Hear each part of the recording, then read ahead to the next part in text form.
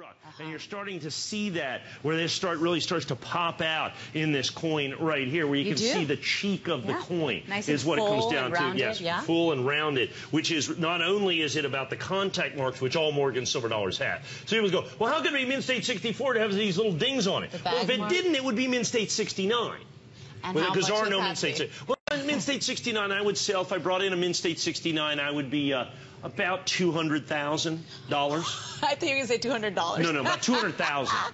About Wow. two hundred thousand. We have Mint State 67s on HSN.com. I believe they're fifteen hundred dollars. Oh my. And I know after I showed one of those on the air, Adam Freeman here bought one of those Oh. Mint State 67s. They are stunning. This coin is $159 though. It's 10 times less money. Right. And like I said, this one's 1880. And I'm going to flip this over again, folks. And I'm telling you, these this visits only. Look at the quality. If you have watched us over all these Wow. years, you know I just don't discount these. And at this visit only, that was clever uh, uh, because I don't have a prime time, so they don't have to sell that many of them at the twenty dollars off. Now look at that coin.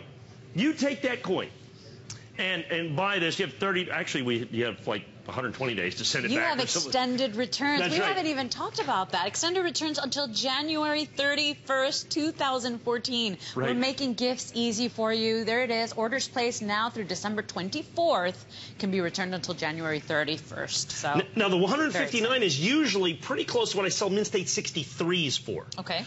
You have to understand, a Mint State 64, the difference in one grade is significant. Yes, it it is. is huge. So, like, Mint State 65 is going to be like $599. Okay. Okay. So, you have 63s, I think, at about 139 is what I, if you go to hsn.com, I think they're $139 for the 63s. So, 64s for basically $20 more, unheard of. Okay. And then 65s, I know, go to, uh, I, I think, four or 500, 600 even for that, for, for the regular coins. So, you get this. So, get this coin home. You have all your extended returns.